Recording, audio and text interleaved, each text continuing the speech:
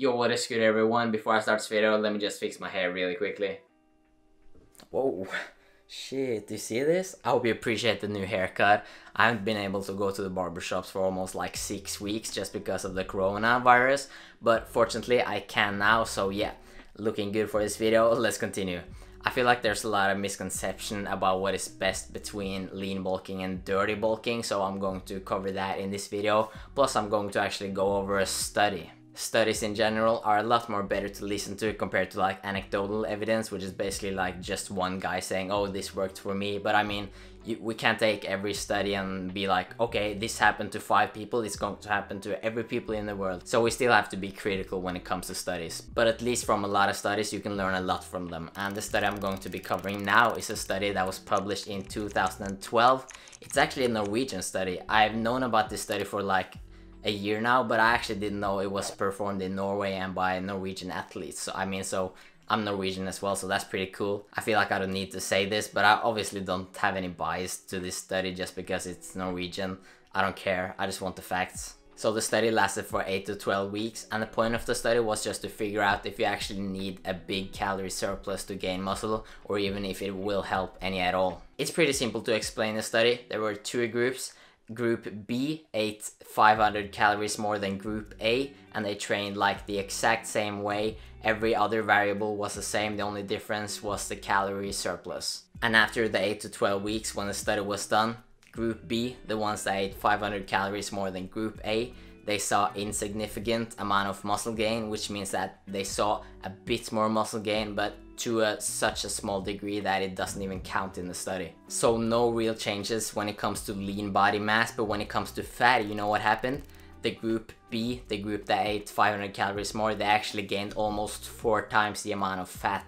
And you know, that takes a while to get off. Like just think about that for one second. They gained the same amount of muscle mass, but they gained almost four times the amount of body fat. And they also tested the strength differences and what they saw was that Group B, the one that ate 500 calories more than Group A, they got slightly more strength and you probably know this as well if you're gaining more fat and if you just weigh more in general it's easier to be stronger so that's the reason for that but it wasn't like a big difference. So don't think that if you're going to dirty bulk you're going to add like 15 extra pounds on the bench press. Nah it's just going to be like a very insignificant amount but it will help. So that was pretty much the result and the conclusion to the study was that if you're eating in a large calorie surplus, yes, it will help muscle growth in like a small degree, and it sounds good on paper but you know in the real life in practice it's not better at all because yeah you might gain like 1% more muscle. But after gaining that 1% more muscle and gaining a ton extra body fat you obviously need to cut either more frequently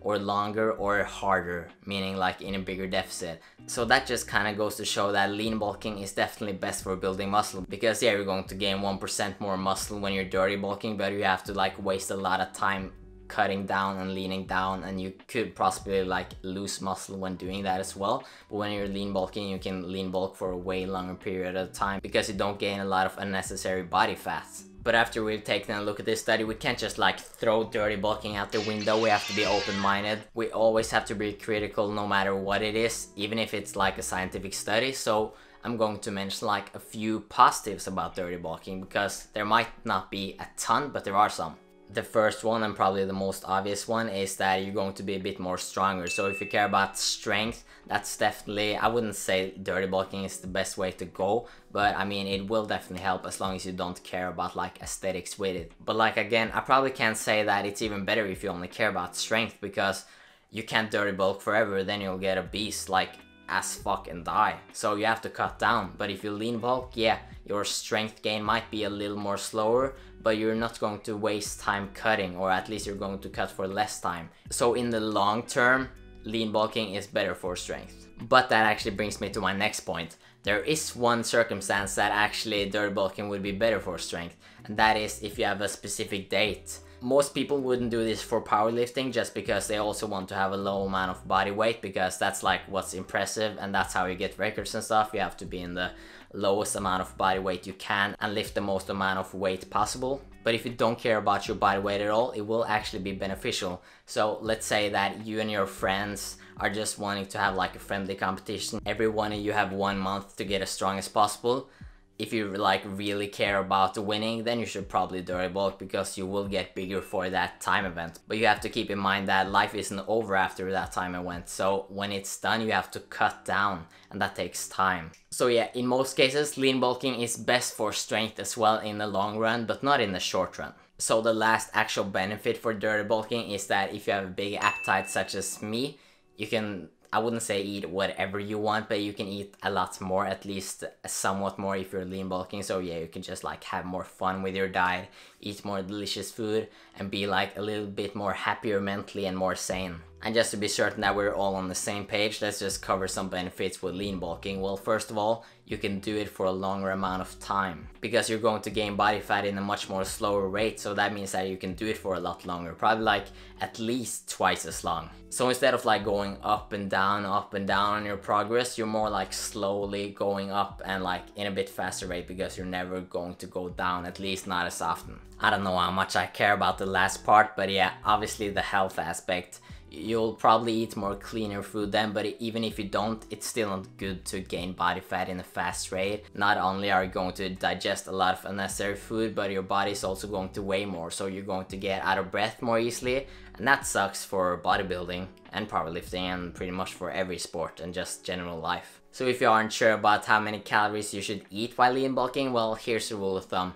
You should eat about a 5 to 10% calorie surplus. So that means if your calorie maintenance, what you have to eat to like stay the same amount of body weight every day is 2000 calories and you add 10%, that's 2200. And if you're a beginner with good genetics, you can at least eat in a 15% calorie surplus because you're going to gain muscle faster, so you kind of need that. But on the other side, if you're a very experienced lifter, you don't need any more than a 5% surplus because you're not going to gain muscle in a super fast rate. So for most people, eating a 10% calorie surplus, for some experienced people 5%, and for some beginner people 15%, but most people 10% calorie surplus.